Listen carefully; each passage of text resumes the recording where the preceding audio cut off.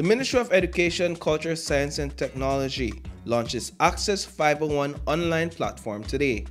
Carlos Quiros is the coordinator at 501 Academy and the visionary behind the new platform. A young Froyla Tzalam, around 2010, 2011, so wrote a book, The People Who Carved Jade and Their Descendants.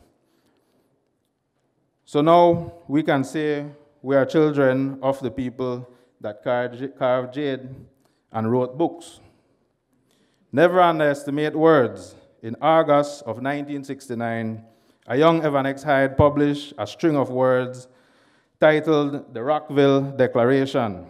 55 years later, and hundreds of thousands of words later, that is as hard as jade in our social imagination, formed under intense heat and pressure. Pressure, pressure, pressure. Then there is Leroy the Grandmaster Young, constantly translating for us the realities of our 501 as he sees it playing out. Access 501 is them, the people I just listed, and many more. It is them, they are us. It is a project to harness energy, 501 energy. It is an attempt to provide access to every Belizean to the raw materials for our imagination. The online multimedia platform provides a wealth of resources that delves into information about Belize's past and present in 15 categories. These categories range from technology to the environment, music, cultural videos, and more. Chief Executive Officer in the Ministry of Education, Dian Maheia, spoke to the importance of the platform to education in Belize. Access 501 is a tool. It's a tool. The same way that your pen is a tool, or your keyboard is a tool, or your phone is a tool, or this LED screen is a tool, or a hammer is a tool. But a tool is latent action. It does nothing unless you do something with it. It's a potential for learning and it's a potential for lessons. So the hope is that once this goes live and you all leave here, you will recognize this for the tool that it is, and you'll be willing to use this tool. Because you don't need a special skill set for it. Like, I can't build a single thing. You know, so uh, with Access 501, there's no prerequisites. Anybody can use this tool. We made sure of that. Access 501 is also an answer.